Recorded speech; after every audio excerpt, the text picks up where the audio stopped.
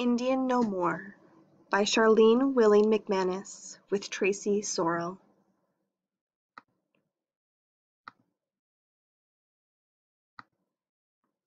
For all the native nations and their citizens who suffered the terrible impact of termination and relocation.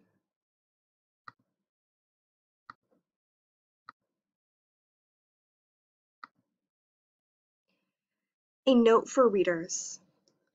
Indian No More focuses on an Umpqua family in the 1950s and includes both words and sayings in Chinook Wawa, the language of the Confederated Tribes of the Grand Ronde, and a number of historical references.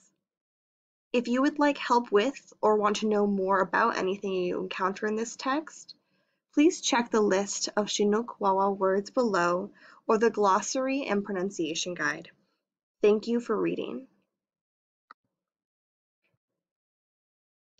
Chapter 1 The Walking Dead Before being terminated, I was Indian. Now, I certainly don't mean I was killed off or anything. It was 1954. The government didn't do that anymore. Not exactly.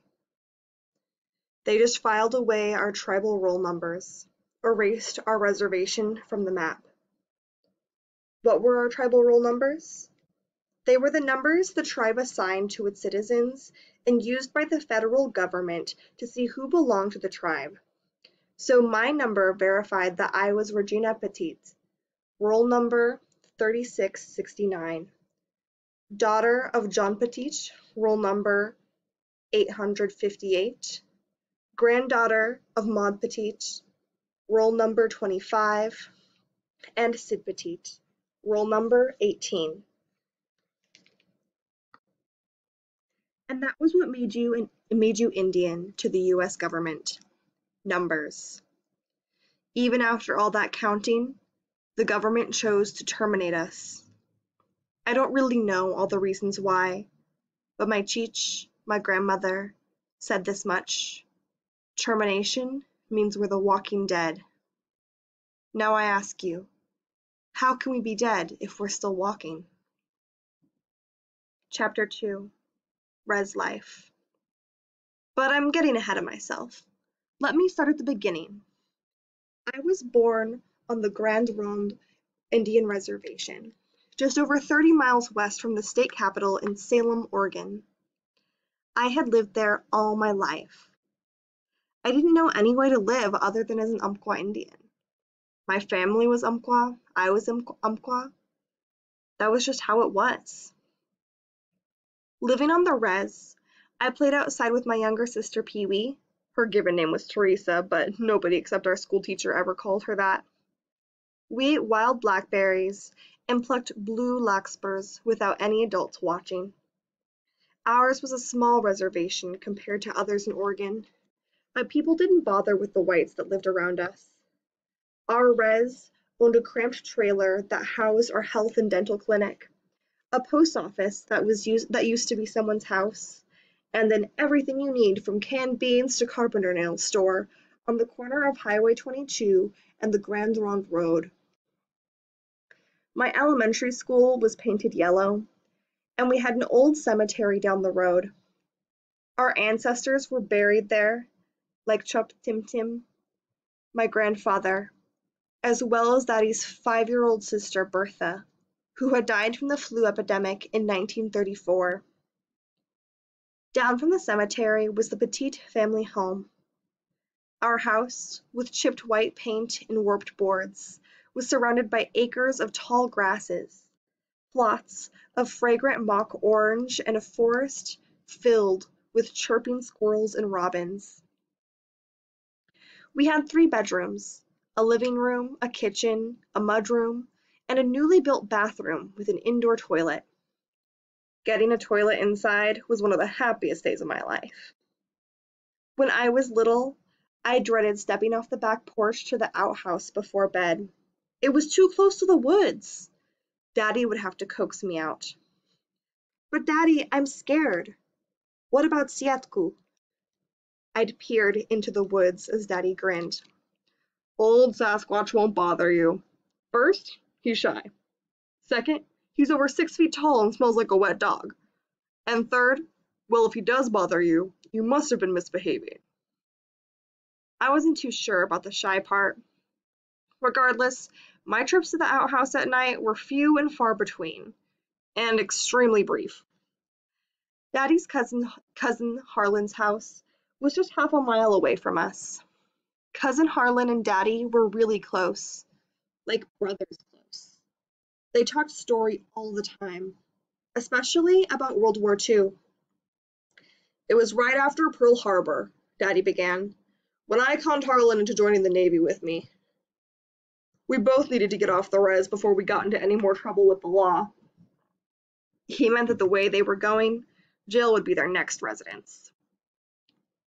According to Cousin Harlan, it was a rainy summer morning when the big bus came barreling down the road.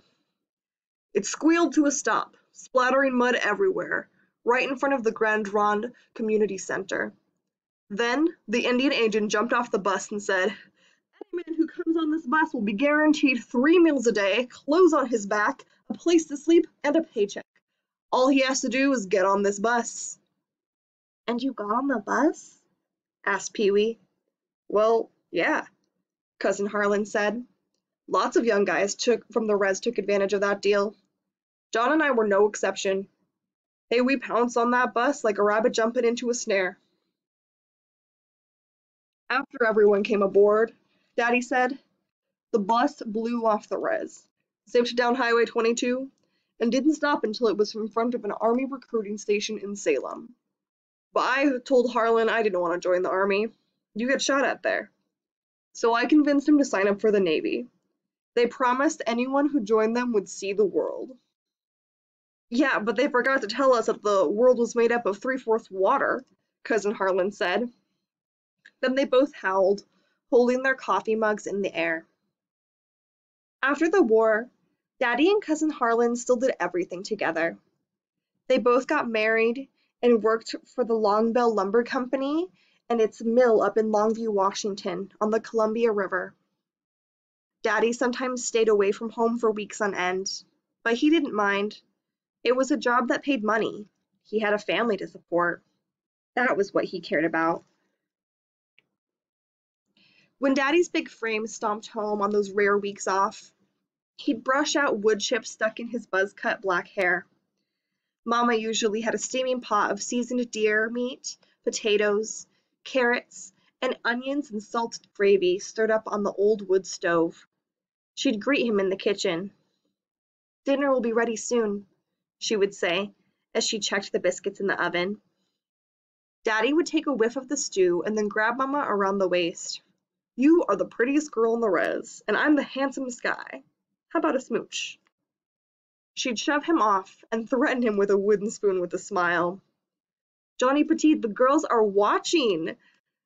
Mama didn't care for showing affection in public. No, we're not, Pee Wee would say, giggling from the kitchen table and drawing pictures to decorate the walls. Mama wasn't an Indian, by the way. She was Portuguese from the Azores but with dark brown eyes and hair, she didn't stand out. Everyone on the res called her the Portuguese woman, not by her nickname, Kate, and definitely not by her real name, Catarina. If that bothered her, she didn't say so. And for a Portuguese woman, that was pretty hard to do. The best thing of all was that Cheech lived with us. Most Grand Ronde homes had three generations in one house. Each night, Cheech combed my long dark hair, saying, Never cut it. It's a powerful part of your Umpqua identity. When we cut our hair, it shows everyone that we are mourning the death of someone close to us. That always made me think of Chup. He had lived with us too until his big heart attack. Since the res doctor only visited the clinic two times a week, Chup died on a day when the doctor wasn't in. He died before our tribe was terminated, so he was still Indian when he was buried. Chup's funeral was over at St. Michael's Church, with a big giveaway afterward just up the road at the community center. Giveaways help family and others in the community in the community remember a person or an event. For Chup's giveaway, smoked salmon, homemade breads, and every kind of berry pie, the berry pie covered long tables. Another table held homemade doilies, tablecloths, and extra pies as giveaways. Some elders and those close to Chup received gifts. Everyone in the community gathered at the center and shared a meal. The grown-ups vis visited us, while kids ran around the hall.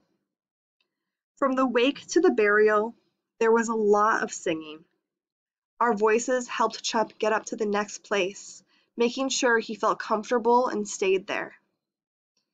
There, in the hall, as daylight faded, an elder pounded on the table with his flat hand. Then he'd pound again, and again. A rhythm sprang from the pounding, a drum beat. Three poundings, then a pause. Three poundings, then a pause. Soon, the other men in their dress slacks, shirts, and ties sat down at a long table and joined in. We kids stopped running around. Then the elder wailed. The other men joined in, repeating this and singing a song I'd never heard. I leaned over to Cheech, my curiosity piqued. What are they singing? I whispered. It's an honor song, sweetie, for your Chup, Cheech said. How do they all know the song? They heard it many times before. It's been passed down from family to family. Daddy leaned over too. We used to sing this during the day, but now we do it at night. Why? I asked. The Indian agent told us to stop. Frighten the next door neighbors. He leaned even closer. Thought we, we might be on the war path. Then he winked. Daddy seemed to find everything funny. Later that night, we had a ceremony to burn Chup's clothes and other items not given away. It was a special time. Our family visited Chup every Sunday after Mass. His old, beat-up logging cap sat atop the cedar board above his grave. Most of the graves had cedar boards covering the plots, so family and friends could place items on them that the dead had enjoyed when alive. Cheech had placed some cattail dolls on Bertha's board. Strolling around the cemetery, I would check out all the neat stuff on graves like the silver thimbles on top of Aunt Ivy's, or the metal carving tools on top of Uncle Joe's. But there was no taking or removing anything from the cemetery. Cheech and other elders taught us that anyone who disturbed and disrespected the spirits like that would put themselves at serious risk. I didn't doubt that for a minute. Things changed at home after Chup died. Cheech had her long silver-streaked hair cut short in a ceremony to mourn Chup. Each chilly gray morning, as she twisted Pee-wee's and, and my straight dark hair into two lengthy braids, we missed hearing Chup's stories. After she finished, she would put on her well-loved yellow apron and make us hot, clumpy oatmeal with dried huckleberries and cups of coffee mixed with lots of canned carnation milk and sugar. Then Pee Wee and I would head outside to play or head over to the Indian Agency school. Daddy would hitch a ride with Cousin Harlan to the mill, while Mama whisked down the road for her waitress job at the Res Diner. And Cheech, well, she sewed, made pies, and did whatever else grandmothers did. If I got up early enough, I joined Cheech on the porch to wawa flahayam gabit saan, or greet the day. We'd sit together, she with her coffee, and me wrapped in my favorite wool blanket, waiting for the morning sun to reach Spirit Mountain. Remember, that mountain is sacred to our people, she would say. It is a good sign if you see Sahali Ta'i, so pay attention. I'd keep my eyes peeled, and sometimes I'd see a great bald eagle soar beyond the pines, thankful to call Grand Ronde home, just like me.